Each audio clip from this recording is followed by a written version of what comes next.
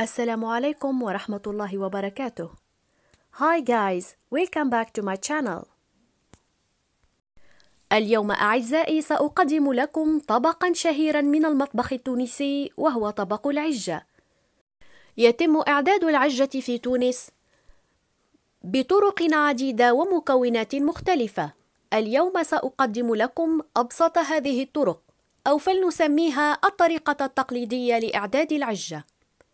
تابعوني أعزائي لتعرفوا خطوات تحضير هذا الطبق اللذيذ. لإعداد هذه الوصفة سنحتاج إلى الطماطم المطحونة، ولإعدادها سنقوم بوضع أربع حبات من الطماطم في ماء مغلي حتى يسهل تقشيرها. بعد ذلك نقوم بطحنها بالخلاط الكهربائي. نضع مقلاة واسعة على نار متوسطة نسكب كمية الزيت اللازمة لإعداد هذه الوصفة ثم نضيف الثوم المفروم ونبدأ بالتقليب.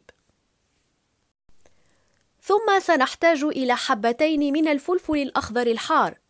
سنقطع هاتين الحبتين إلى مكعبات صغيرة ونضيفها للمقلاة. نقوم بالتقليب لبعض الوقت حتى تذبل هذه المكونات.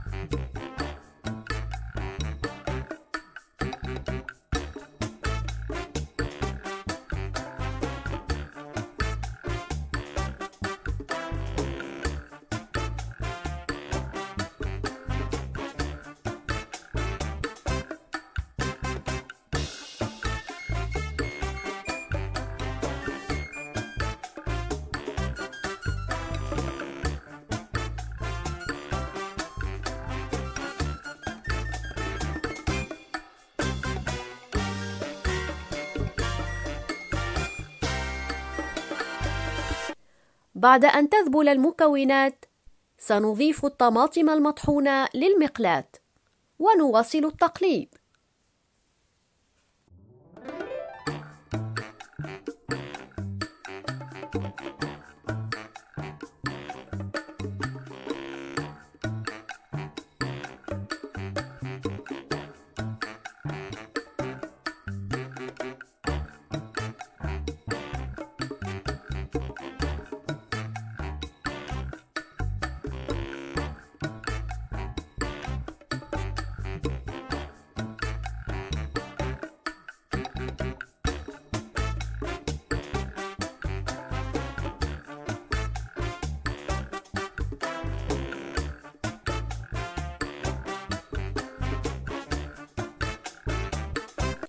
نضيف الآن الهريسة.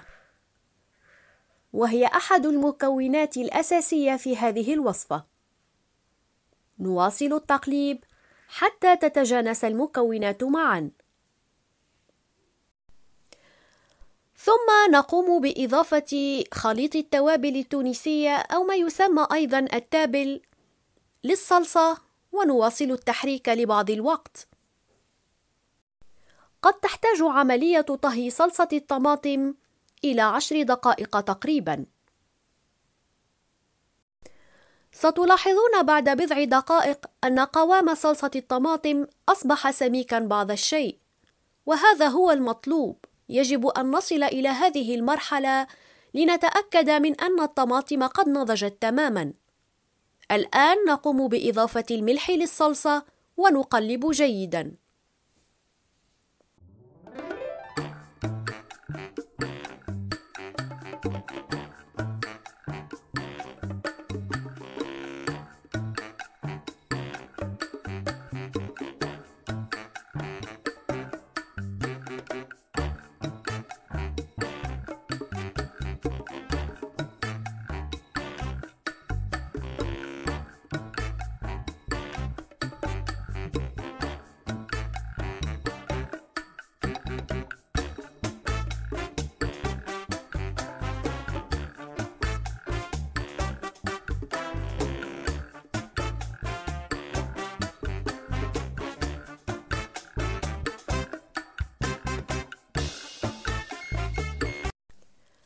عندما يصبح قوام الصلصة سميكا بعض الشيء وتقل كمية الماء الموجودة في صلصة الطماطم نقوم بإضافة القليل من الكمون.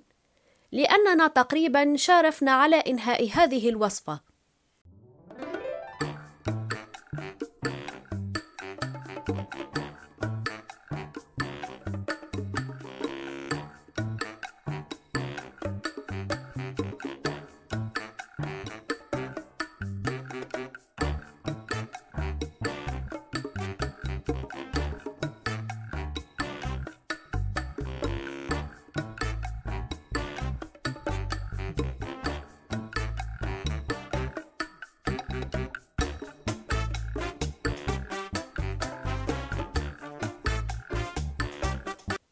لم يبقى لنا الآن سوى إضافة حبات البيض للخليط. نقوم بإضافة البيض الواحدة تلو الأخرى، ونحرص على أن تبقى حبات البيض بعيدة عن بعضها البعض في المقلاة. ثم نضيف الملح إن تأكدنا من أن الوصفة تحتاج إلى القليل بعد، ونرش القليل من الفلفل الأسود المطحون فوق حبات البيض قبل إضافة حبات البيض يجب أن نتأكد من وضع المقلاة على نار ضعيفة حتى لا تحترق الصلصة أو تلتصق بقاع المقلاة. يمكن أن نغطي المقلاة بغطاء حتى تنضج العجة، فالبعض يفضل أن تكون حبات البيض ناضجة تمامًا، أما البعض يفضل أن يكون البياض ناضجًا ويفضلون أن يبقى الصفار لينا بعض الشيء. أخيرا تقدم العجة ساخنة مع الخبز الطازج وبالهناء والشفاء. أتمنى أن هذه الوصفة قد نالت إعجابكم وأرجو أعزائي ألا تنسوا دعمنا بالضغط على زر الاشتراك. الإعجاب بالفيديو ونشره بين أصدقائكم وأحبائكم. شكرا جزيلا لكم على المتابعة. مرحبا بكل المتابعين الجدد تصبحون على خير.